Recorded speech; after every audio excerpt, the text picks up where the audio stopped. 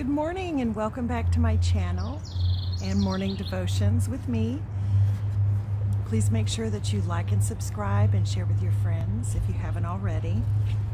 Today is Thursday, April the 29th, and I wanted to say a great big happy birthday to my eldest daughter, Elizabeth.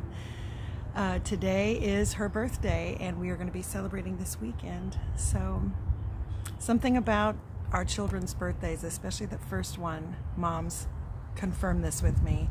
It takes us back. It, that moment you became a mom for the very first time, it could have happened hours ago.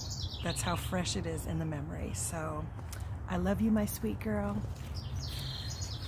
Of course, our devotions today are coming from the Daily Prophecy by Brenda Kunneman. I have a link in the description below so you can check out their website. Her and her husband Hank have a wonderful ministry in Nebraska. Very prophetic, and I really enjoy what we're doing here. Today's um, devotion is called Throw Your Cares Aside. Let's hear the prophecy. Have I not said, Throw your cares upon me?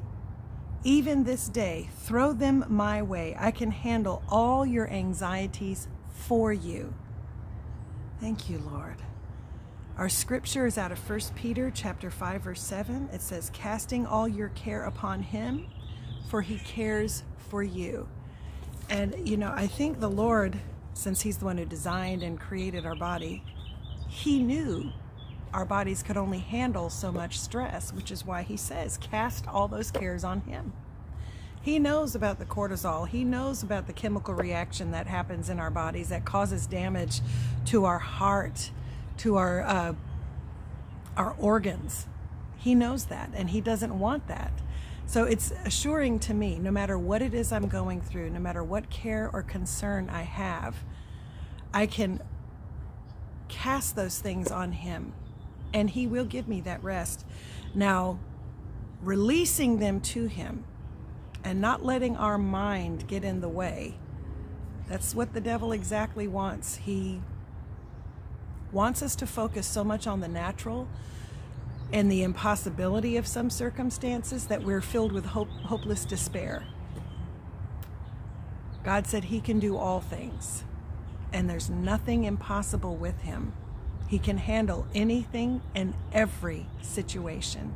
Romans 8:28. He works all things together for our good. Let's hear how Brenda expounds on this today. Most of us, when throwing a baseball, never think to throw it softly.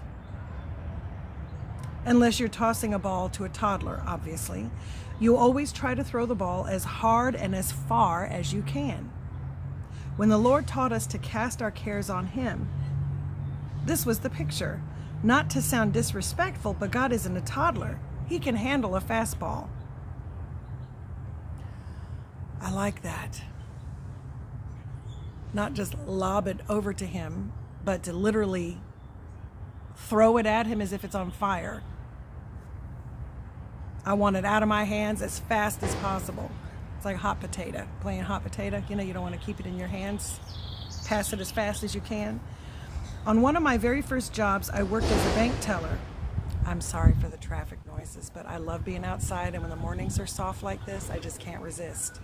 So we have to deal with honking geese and crashing garbage trucks. Sorry, guys. At the end of one day, my cash drawer was short. It was short a large sum of money.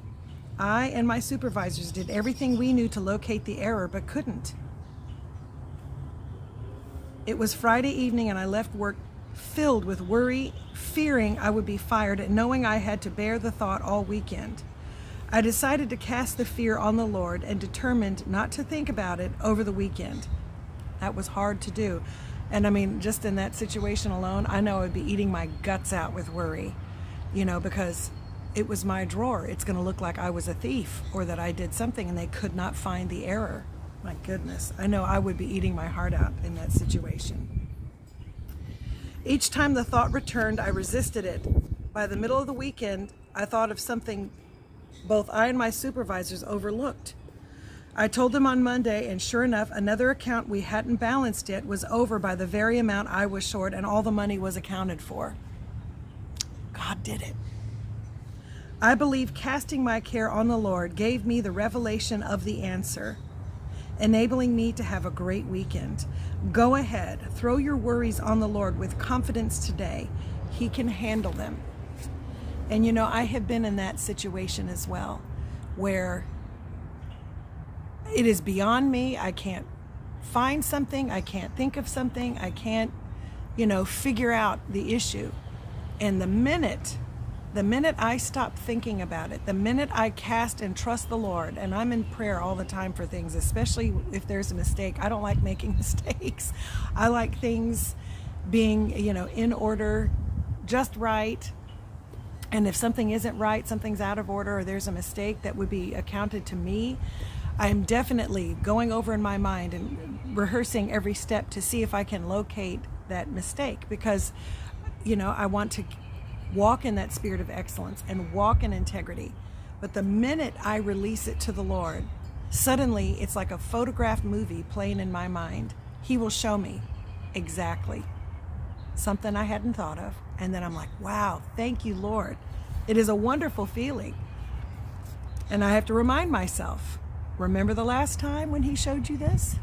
So that helps me. God is faithful, and every time He comes through, that's one less thing the enemy can use against you because you are strengthened, because you remember the last time God came through for you. And so the next thing that comes upon you that the that the, de the devil tries to use to stir up fear and anxiety and doubt and unbelief, you can remember the last time God came through for you because He's faithful. He's absolutely good. Let's say the prayer today. Father, I cast all my fear and anxieties on you right now. I refuse to be worried and I resist every fearful thought. I know that you are taking care of me. In the name of Jesus, amen. Well, thank you again for spending some time with me today. I hope you're enjoying the different view of my garden. That's my parsley exploding back there. I'll try to find different spots. Some of the spring flowers are dying away and some of the summer ones are going to be coming up. So it's always such a nice. My jasmine is back there. It's uh, a little traumatized from where we put up the um, the little terrace or trellising there. And so, I, but I see some new buds coming out, so I know it's going to be exploding again here pretty soon. But thank you again for spending a little time with me today. Make sure you like and subscribe. God bless you, and you have a wonderful day. Bye until next time.